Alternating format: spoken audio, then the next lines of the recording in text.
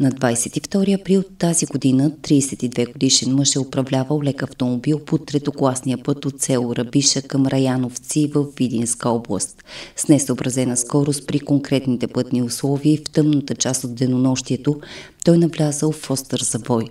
Вследствие на тези действия водачата изгуби управлението на превозното средство, напуснал е границите на платното и се е блъснал в крайпътно дърво – при инцидента е пострадала пътуващата с обвиняемия жена.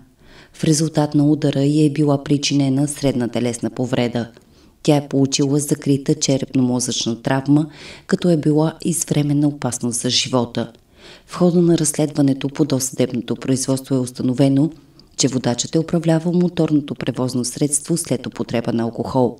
Извършеното химическо изследване е определило концентрация от 1,38 промила в кръвта му. Обвиняемият се е признал за виновен за извършеното от него престъпление.